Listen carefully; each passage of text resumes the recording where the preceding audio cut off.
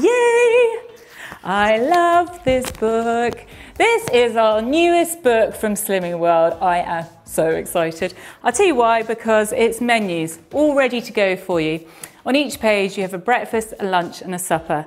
So for me, that works brilliantly. I'm sure a lot of you always sort of standing in the supermarket going, what am I going to cook? I don't know. I want new ideas. This is the book for you. There's over 180 meal ideas in here. When I say meal ideas, some are actual recipes and others are just sort of assembly jobs, as I call them, which is what we're going to do with the first recipe that we're doing from it. There's different sections. There's vegan, there's vegetarian sort of section to it. There's also a sort of chapter on if you're tight on a budget, what can you make, which is great and portable foods, which we're going to do today. So page 74 and 75, back at the ranch, is what we're going to do. And we're going to do a mango and blueberry bowl, tuna and corn muffins, and then Cajun bacon pasta with ranch dressing. So should we get cooking? Or not, as the case may be, because we're going to just be assembling.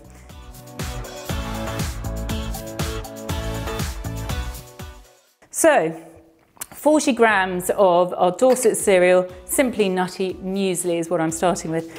But I personally love a bit of um, Weetabix, two Weetabix proteins or 40 grams of shreddies or 45 grams of bran flakes. Have a look at your healthy extra Bs and see which ones you want to do. That's your fibre that you get into your diet each day. In the book, we've got a few healthy extra As as well in there, which is for your calcium.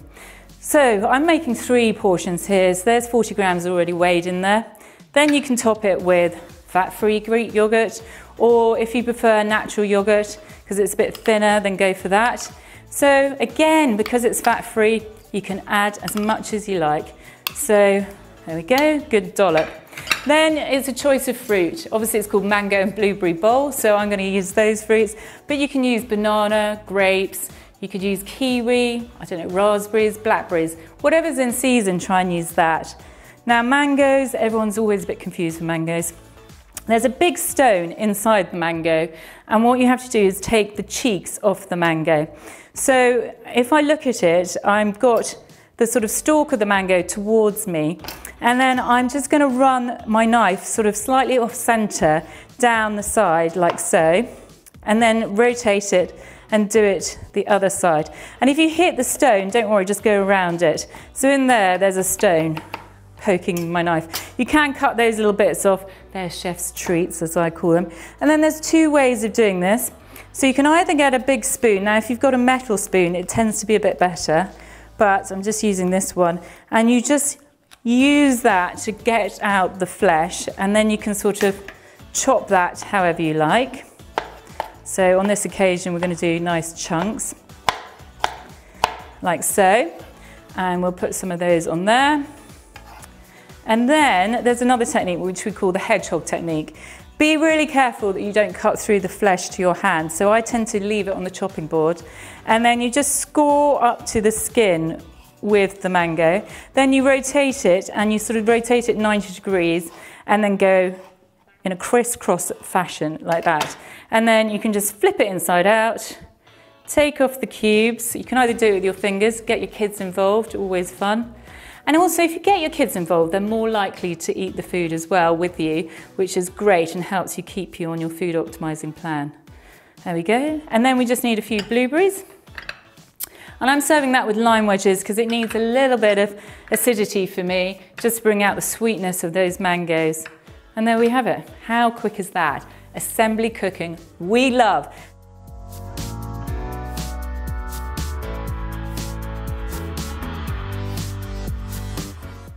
We're going to do tuna and sweet corn muffins and this is one of my favourite recipes because it's literally got four ingredients and I'm going to talk through different ways that you can adapt it depending on how you feel.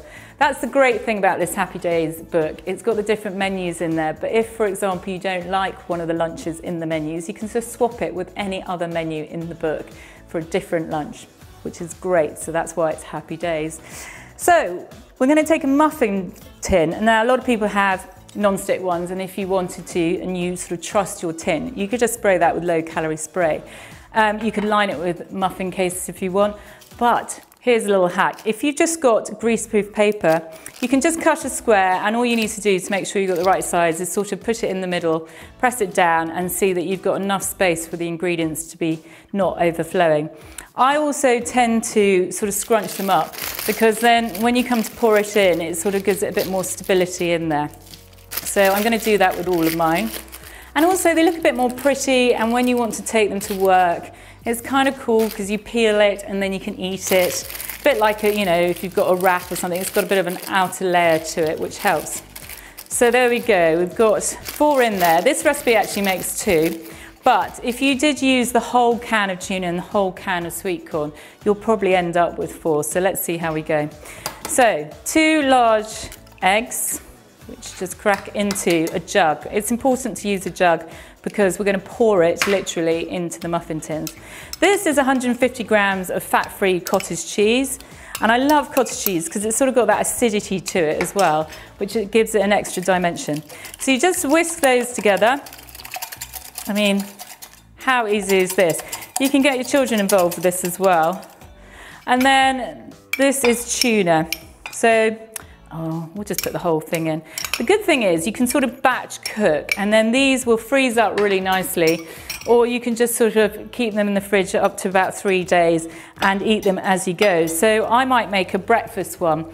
Sometimes what I do is I get ham that's got no visible fat and I sort of line the case with it and then I make that egg and cottage cheese mixture, put some chives or parsley in it and I pour it in that's like a breakfast muffin for me. Maybe take the whisk out and just give it a stir. And you can see how thick that mixture is. And that's it. I mean, that's literally two, three minutes tops to make that.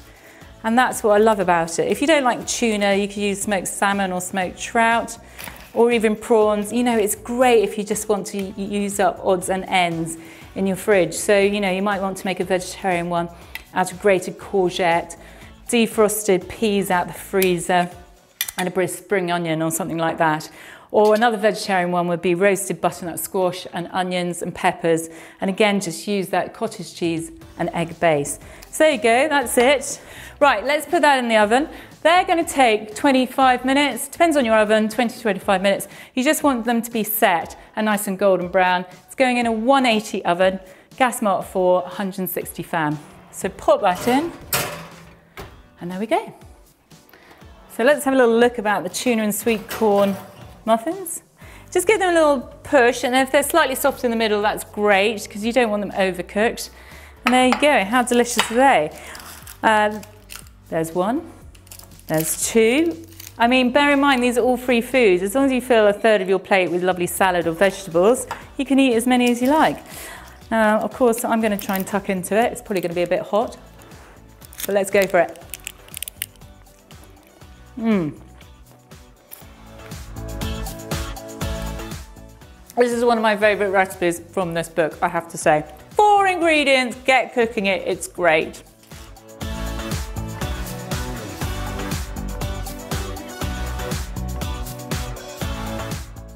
We're going to do the Cajun bacon pasta with ranch dressing. Yes! At last, I've managed to get that right. We've been having a discussion behind the scenes about what your evening meal is called. Is it called tea, dinner, or supper? Well, whatever it's called, it's the evening meal that I'm doing. But remember, with the Happy Days cookbook, you can swap all those suppers, dinners, teas around to make it whatever you want and what you fancy. So we have pasta here. I generally work with about 100 grams of dry pasta per person. So if you want to multiply it up, you can.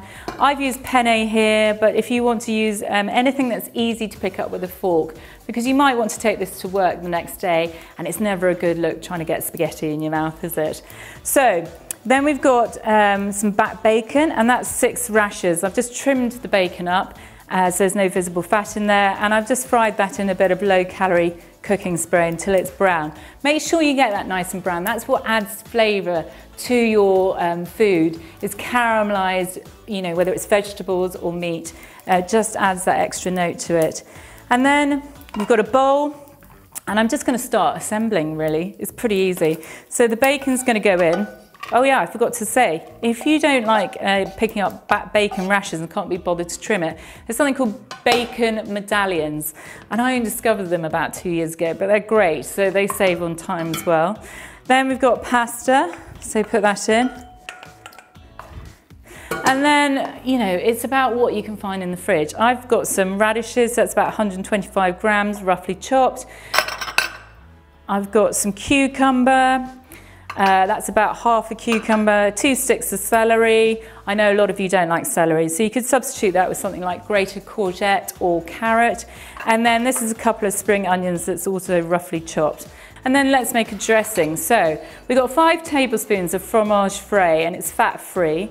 And then what we're going to add into it is a crushed garlic clove, which is easy. Again, if you don't want to crush it yourself, just get a frozen uh, product that you can get in the supermarket. Just make sure it's got no oil in it. Then this is the zest and juice of half an unwaxed lemon. If your lemon's got wax on it, a really easy way to do it is just run it under um, cold water tap and then just use a clean scourer and go over it and that removes the wax. And then we've got a bit of Cajun um, seasoning. Now this is easily available, just look in the spice section in supermarkets. And again, it depends on how seasoned up you want it, um, but I've added about that much. Just check there's no flour, oil or sugar in the product as well. Then you just give that a good stir. Try and get a bigger bowl than me, helps. And then we're gonna just dress that salad. And because the pasta's warm, what happens is it sort of really sort of flavors it from the outside going in, which is great. Okay. Then what we're gonna do is take some pepper, our old friend pepper. Now, if you want herbs, you know I always bang on about herbs. I love basil in this particular one, or coriander. If you're a coriander hater, try a bit of parsley. And then we're going to just toss that together. How lovely does that already look? It looks great, doesn't it? So then we are just going to put that in a lovely serving bowl. So you can take that to the table and people can help themselves. Or get ahead, you know, for your lunches. So then you can put this in an airtight container and you can take that to work if you wanted to. There we go, there's a nice little serving bowl. Or just put it in the middle of the table for the family to help themselves to. You can have a nice big green salad at the side if you wanted to. Make sure you have at least a third of your plate full of vegetables or salad. And then we're gonna really jazz it up now with some fresh um, chives. So I'm just snipping those with a, a pair of scissors. If you don't like chopping things, you know, you can chop quite a lot of things with scissors and it's quite safe to sort of do that because I know some of you don't feel comfortable using a knife. And then spring onions, scatter those over. Again, if you haven't got spring onions, red onion, finely sliced. And then I'm just gonna add a little bit more of that Cajun seasoning at the side. And why not put an extra pot on the, on the uh, table and then if people want to add more, they can. So there's the end dish and it's just lovely and summery and hopefully everyone enjoy it. But if you don't want to have that as your main meal, there's loads in here. Just swap all the menus around if you wanted to and the meals in there because they're all free food, so everything's interchangeable. 180 meal ideas. I mean, two months worth of menus. Isn't that great? So you can just pop that in your bag. If at lunchtime you don't know what you're to have for dinner, you can just flick through it and uh, choose. So go out, and try the Happy Days cookbook. It's great.